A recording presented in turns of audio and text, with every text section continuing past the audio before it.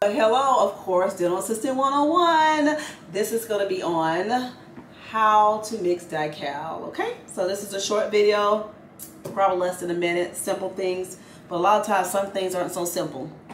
All right, so I have, to, I have to do this type of thing, even for the dental assistants, because when they come out of school, certain things you just don't know. So first we're gonna place the actual Dycal. So that's the callus. You see what color it is. And this is the actual base.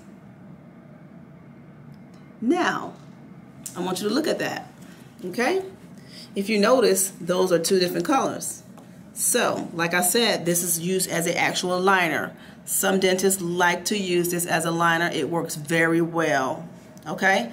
So this is a spatula, of course. So we're gonna mix it together. It's gonna end up being a uniform color, all right?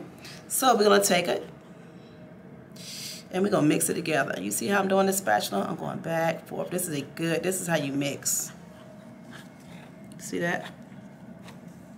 I like to see assistants mix like this. This when you know what you're doing, okay? All right, so that is actually how to mix Dycal. You see that one base, that one color? Look at that one color, uniform color. One uniform color is smooth, no clumps. Okay? And that is how you mix Dycal.